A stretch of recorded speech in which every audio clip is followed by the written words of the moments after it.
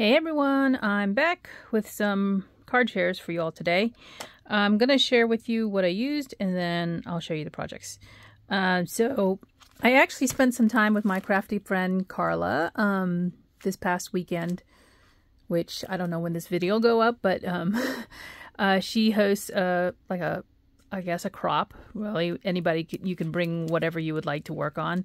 I usually work on cards typically. Um, as does she, I think, um, if she's not working on a mini album or something like that. But anyway, uh, there's seven ladies this time around, including myself. Um, so we usually get together on a Saturday that Carla can um, schedule for us um, at her office. And I brought my um, Tracey Hey stamps with me. Um, I have a number of cards to make for the next few months birthdays, anniversaries, um, Mother's Day, that kind of thing. So um, I brought a few stamps um, and some images that I'd already stamped out and decided I was going to color. Um, so I used this um, Tracey Hey You Rock stamp set, this um, Roarsome stamp set, uh, and then these two are from her own website. So Sentimental and having it all. Both of these were used. Um, actually, I used this little stitch thing here, this heart, and then happy birthday and, and happy anniversary. And then I used this long little stitch line here and that one. Um, I did use this die here. This is a Impression Obsession die from Anna Wight. This is Crazy Stitch Set, and I used the big rectangle here.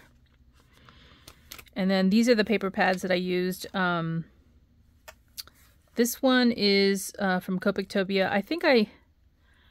Uh, Christine had attended our last crop that Carla hosted, and I think I got this from the Dirty Door Prize um, package that we do, um, where everybody brings a gift and then we um, basically draw numbers and you get go pick it up, um, and somebody can steal the gift from you. So um, I think this is the paper pad that I got, and Christine is the owner of the shop, and um, she was actually attending the crop that day.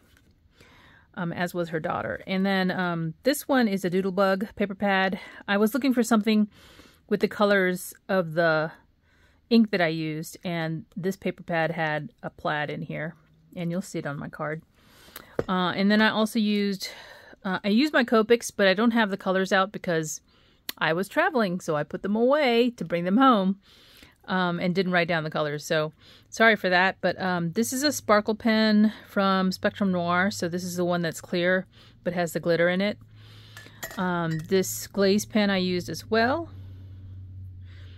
It's a black one. And then um, I used some Stickles and some Nuvo drops. This is the clear Nuvo crystal drops. So here's the first card. This one is a birthday card for my uh, brother-in-law, one of them. Uh, he's turning 60 um, this coming month. So I thought I would use the dinosaur. um, I love the the sentiment. Um, so these are colored with Copics.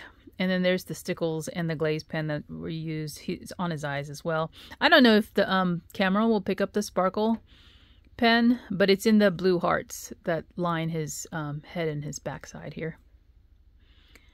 So um, this is the inside. And this card is a unusual size. It's it's four and a quarter, I believe. Yeah, four and a quarter wide by four and a half tall. It just happens to be how I um, happen to um, stamp the images on it. Um, so I wanted something that would fit to the front of the card pretty well. So I cut it down. But it fits in an A2 size envelope still, so that's beautiful. So let me put it over to the side. The other one I did was my um, anniversary card. So got these two dinosaurs here. And again, these are colored with Copics, and you can see the green Doodlebug paper, green and purple um, Doodlebug paper. And I did use the crystal drops on the hearts here. So this is all Copic colored. And then this is the inside. And then, of course, oh, I didn't show you guys the back. So I just um, used some of the scraps for the back and stamped it on the back and signed it. Um, same with this one. Little uh, heart, and then I signed it. So those are the two cards I had to share with you all. Um, I had a lot of fun. I um, I think our next one is in June. So I'll be making some more projects um, for the next few months um, related to, you know, birthdays and such. Um, and some Mother's Day. I hope I can get those in before the actual date. Um, but yeah, those are my projects to share. I hope you enjoyed them and I hope you're doing okay. And I'll talk to you later. Bye for now.